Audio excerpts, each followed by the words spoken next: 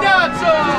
Sold out in poche ore dall'inizio della prevendita. La sera di giovedì 28 settembre alle 21 sarà proiettato nelle tre sale della multisala Badia Grande in contemporanea in premiere il film di Michela Scolari dal titolo Sciacca un sogno fatto in Sicilia, film girato qui con centinaia di comparse locali. La Vertigo SRL di Sino Caracappa che gestisce la multisala Badia Grande ha già istituito un secondo spettacolo, sempre per la sera del 28 di settembre alle 22.45, subito dopo quello delle 21. Si prevede un'ulteriore concentrazione di prenotazioni prenotazioni.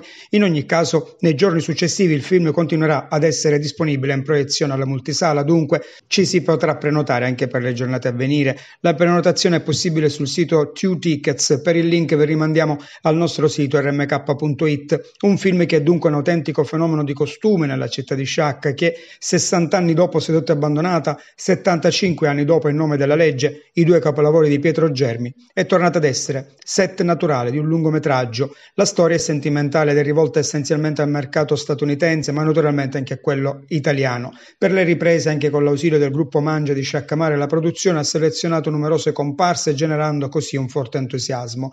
Il film viene proiettato a Sciacca come prima nazionale. La premiere di giovedì 28 settembre sarà preceduta da una conferenza stampa in programma domani mattina alle 10.30 nell'Hotel Torre del Barone, alla presenza di produttori, regista della parte saccenza della produzione e della distribuzione nelle persone di Elena Costa e di Sino Caracà. ಅಪ್ಪ